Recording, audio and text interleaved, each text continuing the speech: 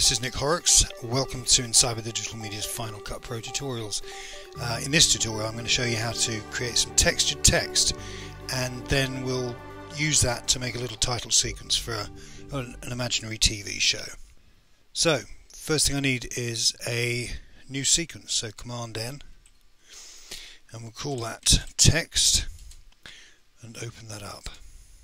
Now I've already made some text in LiveType here We'll just pop onto the timeline there. We'll zoom into the timeline.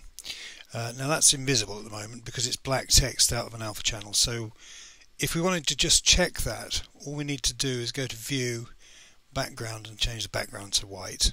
And there we are. There's our text. So we'll we'll go back to a black background.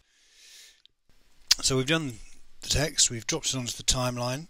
Now we need a, a texture to uh, to marry with that text and um, this is uh, one of the line screen collection.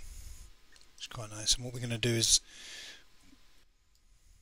view that through the text. So we drop that onto the, uh, on top of the text there. Now, um, at the moment, obviously, we our text isn't visible. So all we need to do is use one of the composite modes a travel matte. Hey presto. There's our text. And now what we need to do is to make another sequence. So Command N again. And we'll call this uh, Big World Titles. Okay, and we'll open that up. Okay, so what we're going to do now is nest the text sequence within the big title, big world title sequence, the one we just made. But before we do that, we need to look at our background clip. And we're going to use this one, which goes like this. And uh, we're going to use that to drop our titles onto. Okay, so drop that onto our timeline. And to match our titles, I'm going to make that green. So go to effects, um, color correction and RGB balance. So just open that up. To lose some of the red, get rid of the pink bits. In fact, I quite like the pink bits. Let's leave them in a bit. And we'll lose a lot of the blue.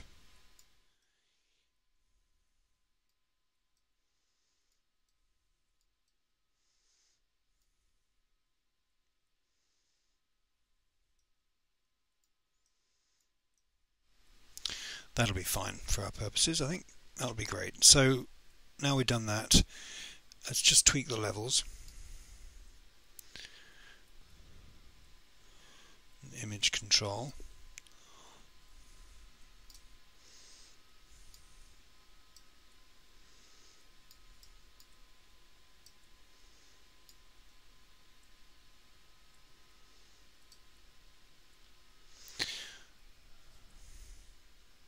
So now we simply drop the text sequence onto there.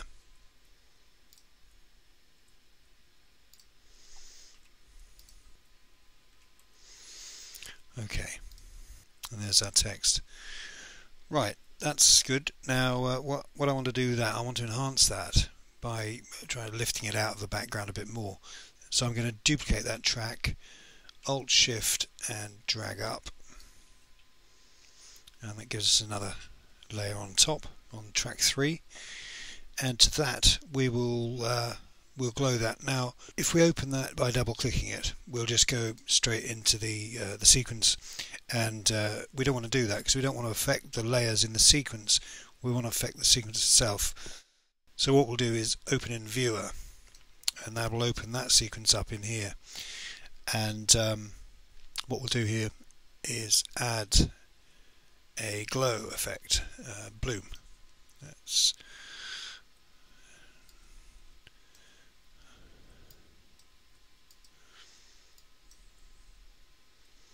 that's probably a bit much.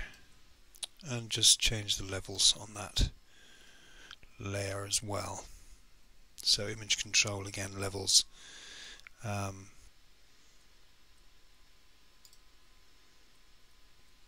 That's better.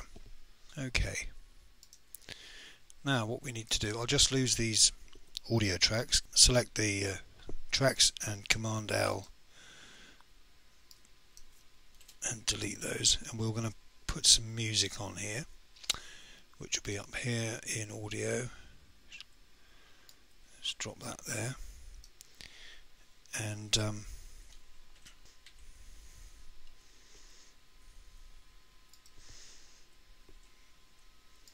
cut that off.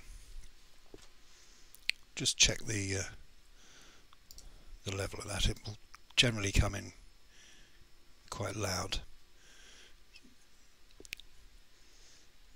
Now I want to look at the uh, if we open that up I happen to know that there is a moment in here where I want to put a flash.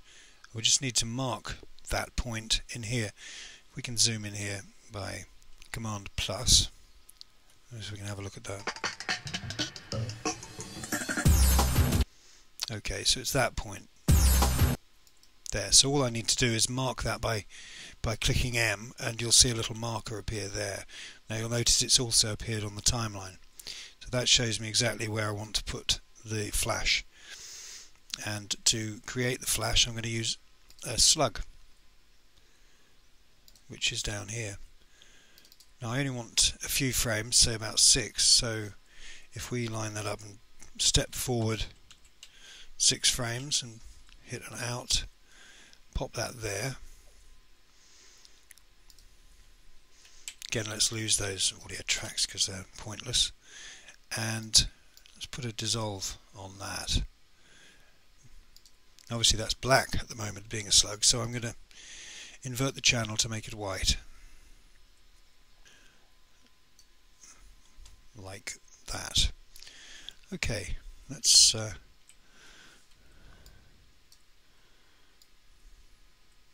drag this out a bit. Perhaps move that up a bit.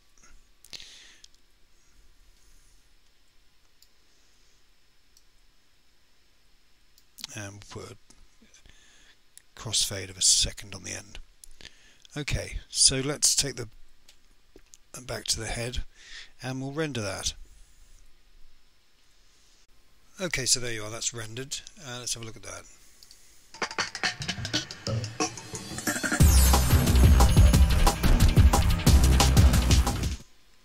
Okay, great. Uh, that seems to work. Well, I hope you found that useful. I'm, it's probably not to everyone's taste, that, but it shows you the process, the principles of working with textured backgrounds over layers. Okay, thanks for watching. Hopefully see you next time.